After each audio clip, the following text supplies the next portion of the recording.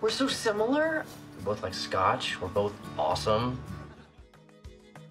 Robin Scherbatsky and Barney Stinson. Why couldn't these unconventional lovebirds make it work? The emotional stuff, it's not your thing. I thought I'd save you the trouble. Maybe I don't want to be saved the trouble.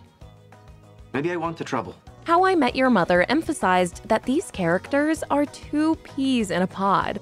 They like all the same things, put friendship first, and are total commitment phobes. Why are you so afraid of giving this a chance? Because I am scared of how much I like you. If anyone can make these two romance skeptics want to settle down, it's each other. He looks nice in a suit. She can handle her scotch. He's my boyfriend. And she's my girlfriend. And the show builds to the climax of their wedding, setting the entire final season during the weekend of their nuptials. Our wedding is gonna be legendary. But after all that, the Robin and Barney romance culminates in a marriage that, we abruptly learn in the second to last episode, lasts only a few years. It was great. It was great. It was great. It was great. It was great. It was great. As jolting and unsatisfying as this was for fans who'd invested in the couple, in truth, something always felt a little off about the idea of Robin and Barney getting hitched. I'm wondering if this whole getting married thing is something I can go through with.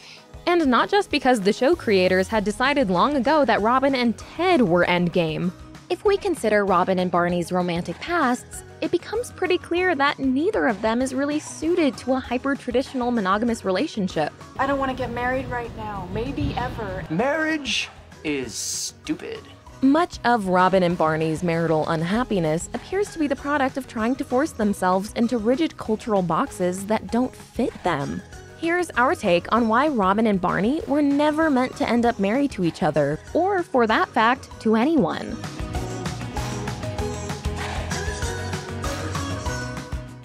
You're watching The Take.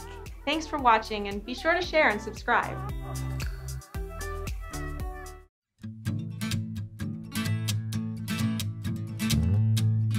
To make sense of Robin and Barney as a couple, let's consider both as individuals, starting with the Barnacle himself. Oh yeah, you just know she likes it dirty. If you've watched even a few seconds of the early seasons of How I Met Your Mother, you would have rightly deduced that get married was the last thing on Barney's to do list. Somewhere below, stop wearing suits and stop doing magic tricks. I know what you want. Magic. While Ted seems to have come out of the womb longing to settle down, Barney feels like a biological bachelor. Barney Stinson always gets the yes. And he's drawn to Robin precisely because she affirms many of the same values he holds. We both think the marriage commitment thing's a drag. We both want something casual and fun, and we clearly get along really well. Barney isn't looking for a wife, he's looking for a wingman or wingwoman that he's also really attracted to. Best wingman ever.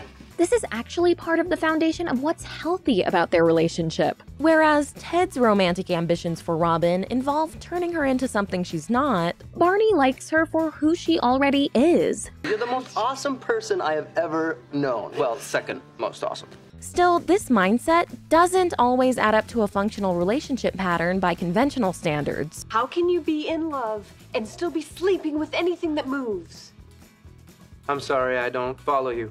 No matter how accepting Robin is of Barney's love of women, at times it gets close to crossing a line. You haven't been acting like a guy who's about to get married, and I know you think it's okay because Robin's so cool, but I'm telling you, she's not as cool as you think she is. Meanwhile, Barney's other relationships in the show shine light on deep seated issues that keep him from ever going the distance. I'm on board with the whole prenup thing. That's great. It's here to protect you too, sweetie. From becoming unappealing to me. The over the top prenup he tries to impose on Quinn before their wedding reveals his obsession with control and inability to trust. Barney, do you trust me? No. With Nora, he has trouble being honest about who he really is, then cheats on her with Robin. I cheated on you. And in addition to his problems with control and infidelity, Barney struggles with the very idea of being a conventional partner. I found out I'll never trust someone enough to get married. My single life is and always will be legend. Wait for it. The whole reason that Robin seems to be the exception, disproving Barney's apparent inability to be a boyfriend or husband, is that she breaks from many typical relationship expectations. To my femininity. No, you're more of a bro. You're a dude. You're a man. While Ted criticizes Robin for making men feel like she doesn't need them, Barney thinks this is awesome. You're the least needy woman I've ever met. That's awesome. And unlike previous partners who wanted Barney to give up his bachelor ways, Robin eventually insists he keep his fortress of solitude just the way it is. If I ask you to change too many things about yourself, you're not going to be the man I fell in love with. So ultimately, Barney and Robin fit precisely because both have a non traditional style. And in their best moments, they work together to find their own way of being together, which doesn't have to adhere to other people's rules. Robin, thanks to you, I can now walk up to any girl and say whatever creepy, disgusting thing I want and totally get away with it. In the end, though, they're not able to win this battle against monogamous norms. Their first breakup comes about because Barney and Robin feel unable to be who they really are in the context of a traditional relationship. Two awesomes cancel each other out. I'm tired of being canceled out.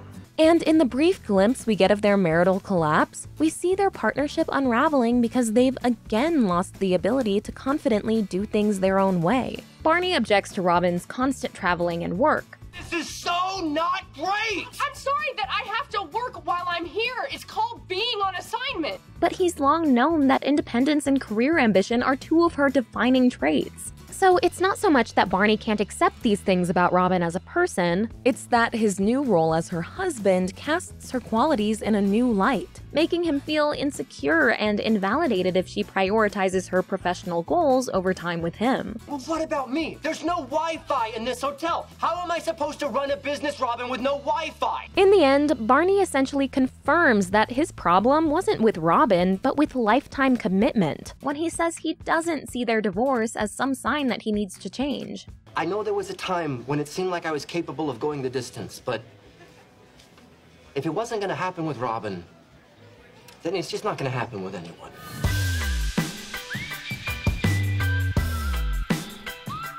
Now, let's look at Robin's relationship history. Robin rejecting Ted's declaration of love on their first date is basically the inciting incident that gets the ball rolling on the whole series. I think I'm in love with you. Her initial reluctance to date this guy who's so obviously eager for a serious relationship is based on a clear understanding of her priorities. To focus on her journalism career, I'm a journalist. My career could take me anywhere, and I hope it does. protect her freedom to travel, and be open to future professional opportunities. Look, Ted, I don't know where I'm going to be in five years. And I don't want to know. I want my life to be an adventure. When Robin does finally give Ted the old college try, she once again has to pull away when it becomes impossible to ignore that she and Ted want wildly different things out of life. I don't want to have kids in Argentina. And I don't want to have kids in Argentina. In all of Robin's other relationships, too, we see that things end badly for her whenever she tries to change herself to fit a traditional relationship model. After she decides to turn down a dream job to put her love for her co anchor Don first, she gets burned when he takes that same offer. You can you imagine what it's like to have the phone ring and it's your dream job on the other end? Yes. When she accepts Kevin's marriage proposal, he later takes it back after finding out that she can't have and doesn't want kids. So, he unproposed. Time and time again, Robin tries to become a more conventional girlfriend or wife, only to end up hurt or rejected. And in part, these relationships unravel because she can't keep convincingly playing the part of the supportive, self sacrificing girlfriend or wife, which isn't who she is. Oh, Lily, you know me. I'm just not into all that coupley stuff. One way or another, her desire for independence and her resistance to being vulnerable inevitably resurface. Robin, I don't get the sense you like being with me. I like being with you. Not as much as you like being alone. After her marriage to Barney ends, she gets to do exactly what she's always wanted to do travel the world as a famous TV news reporter. Greece Paris, uh, Morocco, Moscow. Yeah, worldwide news keeps me pretty busy. It makes sense that, when forced to choose between saving her marriage and living her dreams, she chooses the latter. Is this just not working anymore? And it should be viewed as a happy ending that this character, who let herself be talked out of what she knows she wants too many times, decided to be true to herself. I'm pretty famous. I mean, you're everywhere. I am not everywhere. The...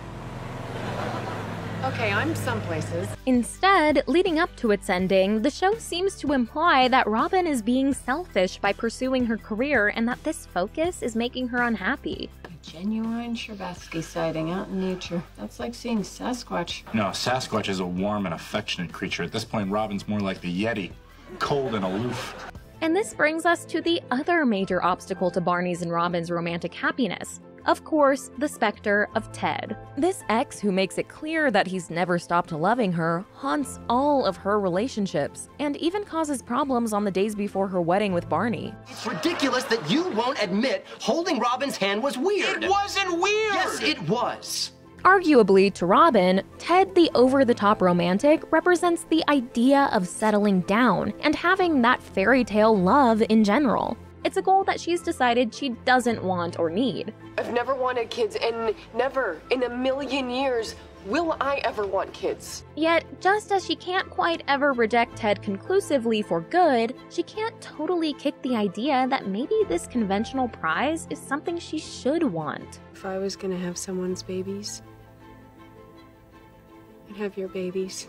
Thus, Robin's final reunion with Ted can be read in one of two opposite ways. In the first, Robin was meant to be with Ted all along. It's just taken her this long to get over her many relationship hangups and admit that she's always really loved him. This is a story about how you're totally in love with Aunt Robin. The second reading of this resolution, however, is that Robin is, once and for all, truly surrendering. After a lot of resistance, she finally gives in to the damaging myth that monogamous commitment represents the only socially accepted happy ending for a woman. Even though all of the evidence we've seen throughout the series suggests that this doesn't satisfy her. No guy's gonna say, Who's your daddy to Robin Scherbatsky? You're your own daddy. So, you could argue that Barney and Robin's not ending up together ultimately can be explained by them buying into Ted's idea about what a relationship should look like instead of their own. Oh my god, you just did it again. You just Mosby'd me. I did not. You did, you little minx. Oh, okay, you're right. I did just Mosby you. And looking at our two portraits of Robin and Barney together, we can conclude that the end of their marriage shouldn't be viewed as some massive failure, but rather two people realizing that marriage wasn't serving their individual goals and desires. This isn't a failed marriage. It's a very successful marriage that happened to only last three years.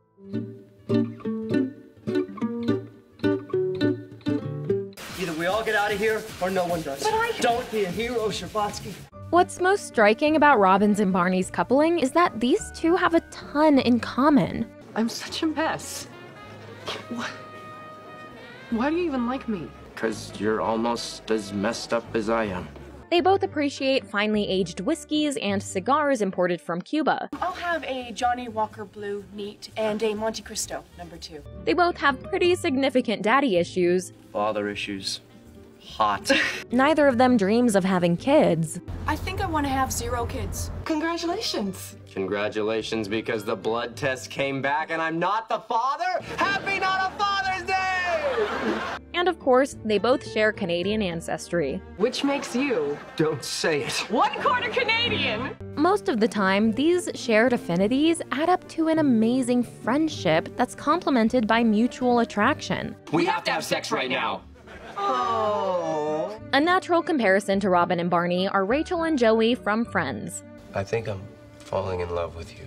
Much like Robin and Barney, Rachel and Joey are very similar in temperament, considered the two hot ones in their group, and neither tends to overthink things like the neurotic Ross, who would correspond to Ted in this triangle. I don't want to be single, okay? I just, I just, I just want to be married again. I'm done being single.